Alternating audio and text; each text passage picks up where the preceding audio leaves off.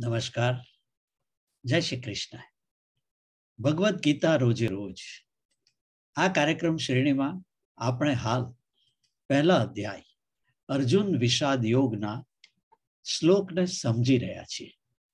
આજે પહેલા અધ્યાયના સાડત્રીસમાં શ્લોકને સમજીએ તો તસ્માન્નાર્હા વયમ હંતુમ ધાર્ત રાષ્ટ્રાન સ્વબાંધવાન સ્વજનમ હિ કથમ હત્વા સુખિન શ્યામ માધવ આ શ્લોકનો અર્થ છે, આથી જ, હે માધવ, ધૃતરાષ્ટ્રના પુત્રો એવા મહારાજ ભાઈઓને મારીને, પોતાના જ કુટુંબનો નાશ કરીને આપણે સુખ કેવી રીતે મેળવી શકીએ?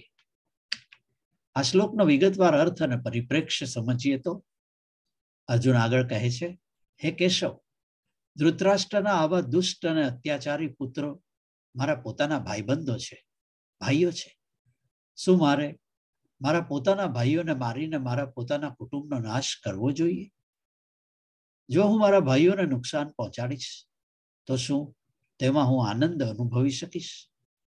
જેમણે તેમના પરિવાર પર ઘણા અત્યાચારો કર્યા છે, તેવા કૌરવોને મારવાના વિચારથી પણ અર્જુન વિચલિત થાય છે.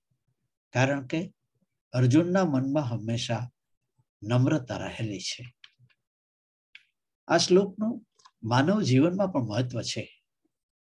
અર્જુન જેવી સ્થિતિ કોઈ પણ સામાન્ય માનવીના જીવનમાં આવી શકે છે. તે સ્થિતિમાં માણસ અહીં જેમ અર્જુન થઈ રહ્યો છે, તે રીતે વ્યથિત થઈ જાય છે. દરેક સજ્જન એ જ રીતે જવાબ આપશે, કારણ કે કોઈ પણ બહાદુર અને સજ્જન માણસ પોતાના ભાઈઓ સામે લડવાનું પસંદ કરશે. નહીં. પરંતુ જ્યારે પ્રિયજનોના સન્માનની વાત આવે છે, ત્યારે દરેક વ્યક્તિએ પહેલા તેના પોતાના પ્રિયજનોના સન્માનની રક્ષા કરવી જ જોઈએ.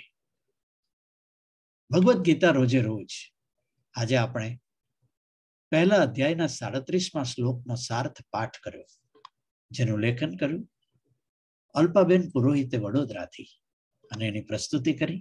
આપના મિત્ર નરેશ કાપડિયાએ ભગવદ્ ગીતા રોજે રોજના કાર્યક્રમમાં આવતીકાલે આપણે વધુ એક શ્લોકનો સાર્થ પાઠ કરીશું.